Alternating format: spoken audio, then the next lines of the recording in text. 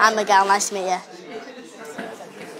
What is? I got these for you. Oh, thank you.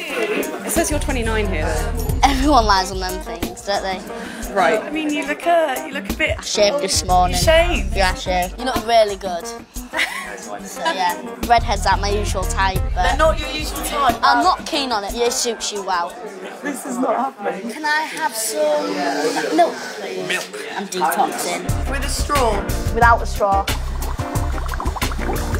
You can go to like a Greek island or something. I'll take you to a Greek island. it's lads, I'm a lad, aren't I? Really? Honest with you. If you're going to bring in a bunch of flowers, you could have taken off the sort of limp ones. Can I give you a bit of feedback? Yeah. I'm Sensing a lot of hostility from you.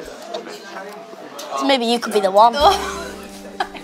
Are you one of them women with a hard exterior and a soft inside? What do you think? You want to be loved though, don't you really, beneath it all? Presentation ready for the meeting and fire that guy's it Mike from the couch is doing my head in. I didn't I didn't touch the chocolate biscuits. I'm on a date now. I think she fancies me. She's like laughing at all my jokes as well. The PA, the nightmare PA. Okay, no. Yeah. The flowers were very cute. I think. Don't I was expecting. Come on. I was just expecting a very different date. So what sort of thing are you after then? All my age. You sure you don't want to stay? No, I'm, I'm sure. You sure?